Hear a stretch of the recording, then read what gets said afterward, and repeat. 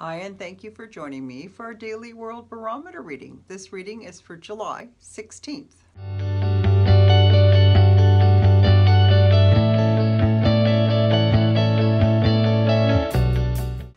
Today's energy is temperance reversed, and it's really about making a change about how you take care of yourself. So, temperance is asking us to take good care of ourselves, do good self care, and when it's reversed like this, it just wants us to do something different. So if you have only one routine, this would be a good time to mix that routine up. Thanks for joining me. Bye for now.